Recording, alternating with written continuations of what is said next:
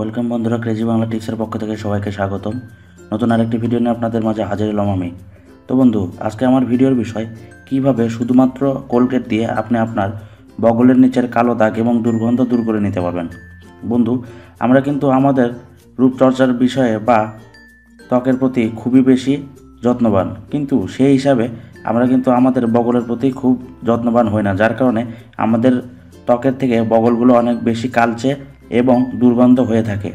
কিন্তু তার জন্য আমরা বিভিন্ন ধরনের কসমেটিক সামগ্রী ব্যবহার করি, কিন্তু খুব একটা ভালো ফলাফল পাই না।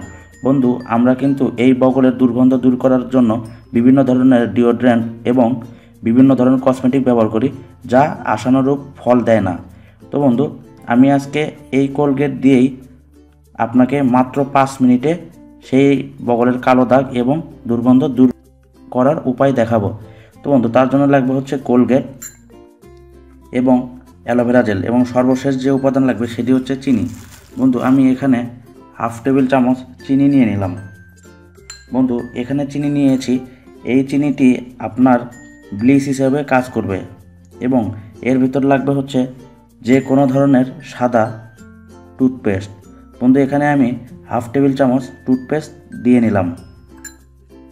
এরপরে আপনার যেটি দিতে হবে সেটি হচ্ছে অ্যালোভেরা জেল।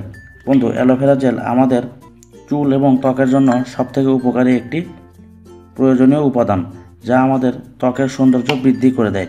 বন্ধু, আমাদের বগলের কালো দাগগুলো হওয়ার যে কারণগুলো, তার মধ্যে প্রথম এবং প্রধান কারণ হচ্ছে আমাদের বগলের নিচে যে ত্বক আছে, সেই ত্বকের কোষগুলো মরে যাওয়া। এই ত্বকের কোষ যখন মরে যায়, তখন কিন্তু এটি কালো রং ধারণ করে। যা দেখতে অনেক বিশ্রী হয় এবং এখান থেকে অনেক দুর্গন্ধ বের হয়। বন্ধু, এখানে চিনি এবং পেস্ট থাকার কারণে এই দুটি ব্লিচিং হিসাবে কাজ করবে, যা আপনার বগলের নিচের যে কালচে দাগ আছে তা কিন্তু সরিয়ে দেওয়াতে অনেক উপকার করবে। বন্ধু, এই তিনটি পেস্ট আপনি খুবই ভালোভাবে মিশিয়ে নেবেন। বন্ধু, এখানে অ্যালোভেরা জেল আছে।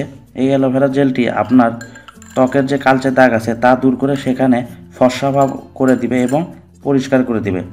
বন্ধু, এই তিনটি উপাদান আপনি একত্রে এভাবে মিশিয়ে আপনি আপনার বগলে গোসল করার আগে দশ থেকে পনেরো মিনিট আগে এভাবে লাগিয়ে রাখবেন।